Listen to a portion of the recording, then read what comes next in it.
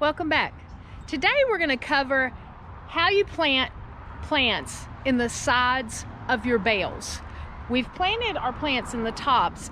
There's lots of space there on the sides of these bales that you can plant plants. You can utilize that space to plant plants and it's not going to interfere with the plants that are on top of the bale. What we're going to do is this end bale here with the tomato, we're going to take and plant a spaghetti squash right there in the corner and as it starts to grow we are going to train it to go out this way and train it out into the yard here instead of up and into that tomato plant. So we can grow both spaghetti squash and tomatoes in the same bale. So let's get this spaghetti squash into this bale. What we're gonna do here, we're gonna create a pocket right here. It's kind of the side, it's it's above, as you can see, it's above this top uh, tie for the bale. And I'm going to use my pliers, grab a hold of some of the straw, pull it out. There we go. Got a good pocket started there. Now, sometime on these plants, it's hard to get them out. You don't want to pull this plant out of this container because then you might damage the roots, you'll disturb the roots and it's not gonna grow. So you wanna take, squeeze on this bottom this a little bit and turn it upside down. As You'll see, start sliding out. I've not interfered the, or I've not, uh, not pulled the roots, I've not damaged them. This plant right here is broke. It's got two of them in the same little section. This one's broke. I'm gonna throw this one away. We've got a good healthy plant here. We're gonna put this in the side of the bale.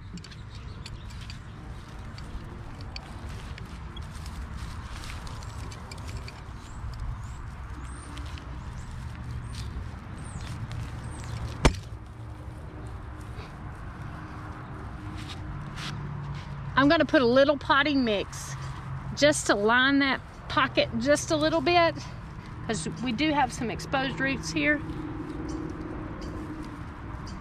Put the plant in there. I'm gonna pack a little bit of potting mix in there just to hold it in place. Pull that straw back around it. Now we've got spaghetti squash.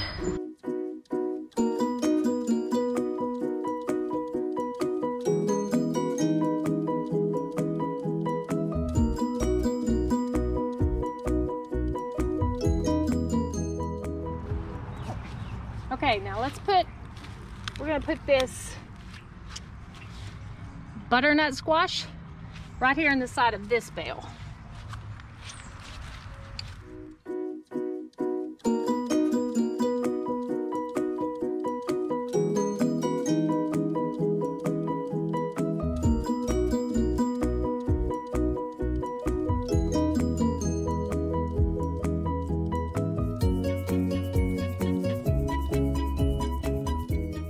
One more thing I'm gonna try planting are some sugar baby watermelons.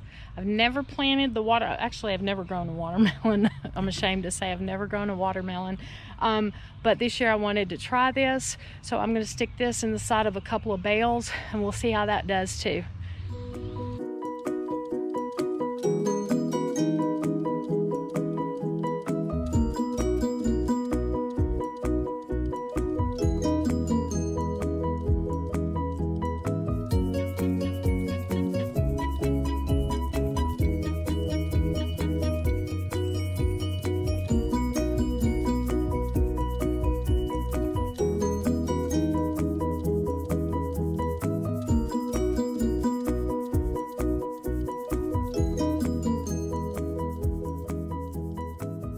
So it's easy as that.